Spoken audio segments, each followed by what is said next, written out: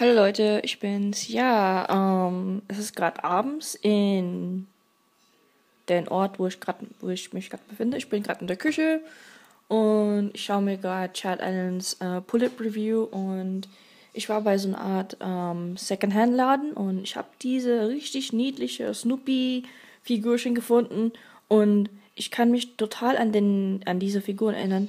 Die waren mal ein Spezial, ein Spezial von McDonald's so, es, es hieß so Snoopy um die Welt und es gab so 100 verschiedene Snoopys.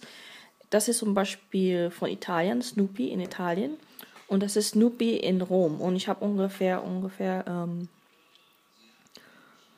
fünf, fünf, fünf schwedische Kronen bezahlt. Das ist ungefähr wie ein Euro umgerechnet so.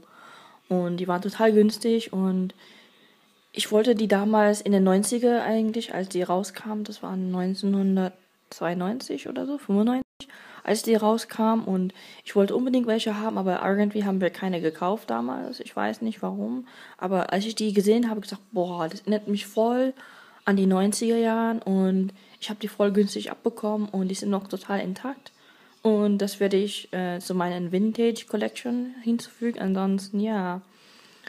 Ähm, ansonsten geht es mir gut. Ähm, ich bin gerade äh, in der Küche und es ist alles wunderbar. Alle gucken fern oder schlafen bereits schon. Aber ich bin ja noch wach und gucke mir ein paar Videos an. Wie ihr sehen könnt, es gibt Internet hier. Von daher, ja, ähm, wollte ich alle Leute und alle meine Abonnenten in Deutschland schöne Grüße wünschen. Ansonsten, ja, einfach, wenn ihr Fragen habt, einfach unten an den Kommentaren schreiben. Ansonsten liken, kommentieren, abonnieren. Tschüss. Hi, ähm, ja, ich muss mich nochmal korrigieren der ist nicht von Italien, sondern das ist Snoopy in Argentinien. ich habe da gerade unten geguckt und da steht halt irgendwo hier, ja, ähm, Moment, ganz genau. Hier Argentinien und hier dann steht dann ganz unten dann Made, ein bisschen genauer, Made for McDonald's Corp, irgendwas. Genau, und das kam in den 90er raus. Genau, kurz vor 2000, 1999.